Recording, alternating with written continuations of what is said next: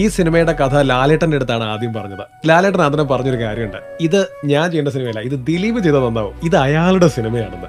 ഇത് ട്രൂ ശരിയാണ് അങ്ങനെ പറഞ്ഞിട്ടുണ്ടോ ലാലേട്ടൻ? ഉണ്ണിയേട്ടന്റെ അടുത്ത് ഉണ്ണിയേട്ടൻ പറഞ്ഞ ലാലേട്ടന്റെ അടുത്ത് ഈ സിനിമ പറഞ്ഞിട്ടുണ്ട്. ലാലേട്ടൻ അന്ന് ആ ശരിയാ.